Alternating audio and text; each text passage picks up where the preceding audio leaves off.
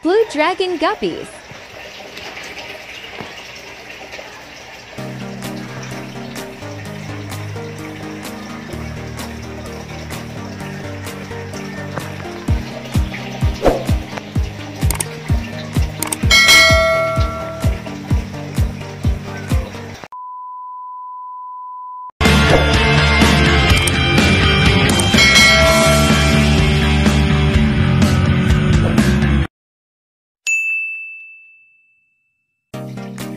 Good morning, good morning mga ka-fishte! Welcome back ulit sa aking channel. Nagbabalik ngayon ng ating fish.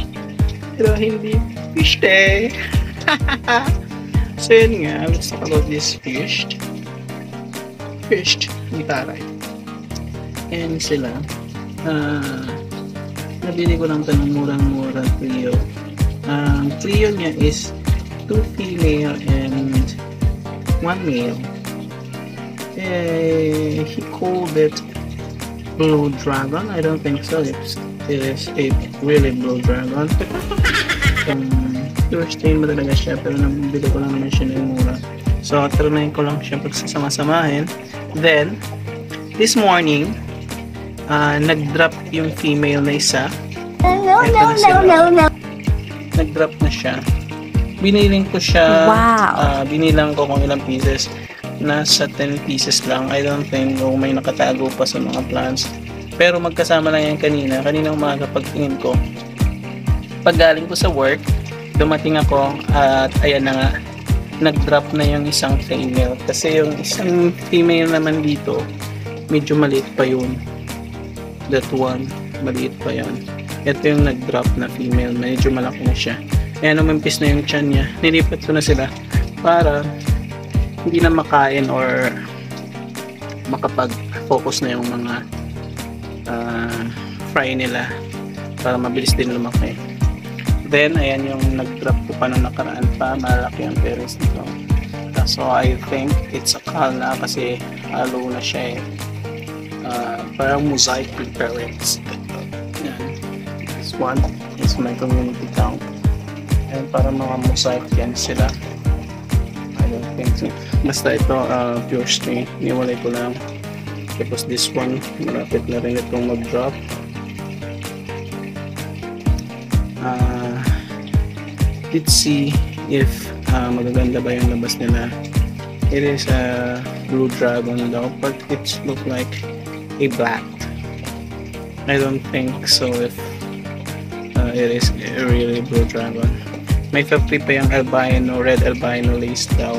Albino red lace. But suddenly, uh, namatay siya. Tapos may nahalo pa yan na swordtail. Ha? Swordtail, the red one. Nandun sa kabilang tank. Sa tank ng mga one month old guppies ko na may halo ding uh, almost one month old halo-halo na yun pero i-choose ko yun sila after um, maybe 2 months uh, titignan natin kung hihiwalay natin yung male at saka yung mga female. Ang medyo marami na rin andyan din yung mga female betas ko. Ah, mga ano yan. Mga avatar. Yan, may mga beta rin tayo guys. Marami akong beta. Nag-start lang ako ng gapi bago lang. Ah, naisipan ko kasi maganda rin ang market ng gapi at the same time very colorful din sila mga fish. Nakaka-colorful like peras they are very colorful. So try natin na maka-acquired lahat ng kulay ng guppies as soon as possible as we can. As soon as possible as we can. So yun nga guys. Uh, tignan nyo ang aking mga Blackmore Wow. malaki na kanilang mata at kanyang mga friend na pearl scale medyo madumi-dumi na siya. Kailangan ng linisin ang dami ng goldfish ko na yan. Pero now sila na lang ang natira. Medyo sensitive kasi ang mga goldfish. Kaya na mahirap silang alagaan. Ito na yung ating mga fry.